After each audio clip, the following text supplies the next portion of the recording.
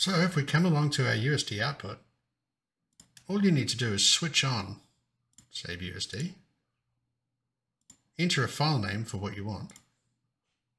So week three is fine, save that. Yep. Set up the scale you want in Unreal. So let's go 200, 200, 200. Nothing's happened yet. And then on the output switch, flick it over to USD. You see it's scaled right up and you can see our paths are in there. So everything just follows along nicely.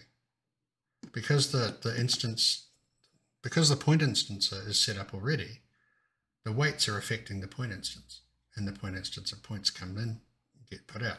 So here we are with a empty Unreal file. I'm going to go to my USD stage, file, open. There's the file that we just output. Open that. Let it load. Hmm. Maybe we want to move it up a little bit. And there you go. It's that simple. We made quite a major change. We put in a big road and two little ones. And it's just followed on through and done it for us, which is really the beauty of USD, especially procedural Bifrost USD. And again, you could just go back here, edit something. So if I take, I get curve three, hide that. Oops, not hide it, unhide it. And then go to the control verts. Ah. Maybe switch this back to Bifrost. There, and we'll just focus in Maya on our curve. Curve three, there we go. Let's go over to its control vertex. So this is this this one around the lake, and if I just want to move this out to here, and perhaps I want this to carry on through the forest just a little bit more, so we'll select all of those.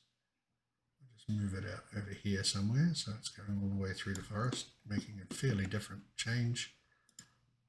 Do a little bit of cleanup. And by the way, if you hold down C, you should be able to drag along a curve if you've got that curve. So we're just going to add this back in, integrate it a bit nicely. Next one. More of a nice angle coming in. Go to the next one. Maybe get rid of this sharp bend here if we can. Which we can with a little bit of fiddling. Won't take too long. I'll probably speed this up when I edit it anyway. But that'll do. That'll do for now. That's showing us an example. Maybe like take this guy, move this guy back here somewhere. This guy here and let's lift this out a bit. So all we're really doing is changing the shape of this one little piece of path just as an example. So there we go. That's, that's quite different. Let's hide the curve again and go back to shaded mode. And now you've got this change done. So if you remember what it looks like here, there we go. Looks like that. Again, come to your output switch. Well, first off, make sure Save USD is on. Come to your output switch, switch it to USD. It's going to jump in scale and then reload. and there's our new path. So it's very, very quick and easy editing and very, very quick and easy feedback.